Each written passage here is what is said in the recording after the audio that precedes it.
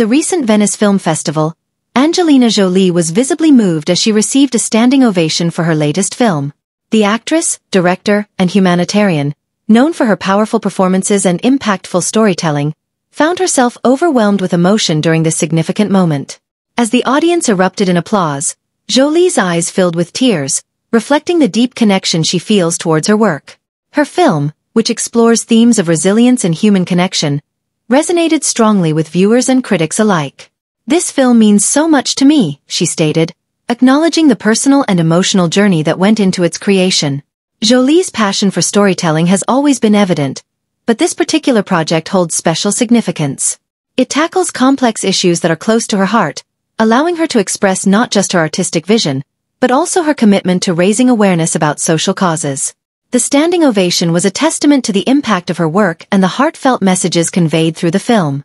During her speech, Jolie reflected on the challenges she faced while making the film, including the emotional toll it took on her. I poured everything into this project, she admitted, emphasizing the importance of authenticity in her work. The audience's response was a powerful reminder of the connection between art and shared human experiences.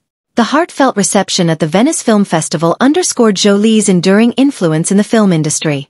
Fans and fellow filmmakers praised her courage and dedication, recognizing her ability to tackle difficult subjects with grace and sensitivity. The standing ovation was not just for the film but also for Jolie's unwavering commitment to her craft and her advocacy work. As she wiped away her tears, Jolie expressed gratitude for the support she received. This wouldn't be possible without all of you, she said, acknowledging the collaborative efforts that brought the film to life. The moment encapsulated the beauty of cinema as a medium for connection and empathy.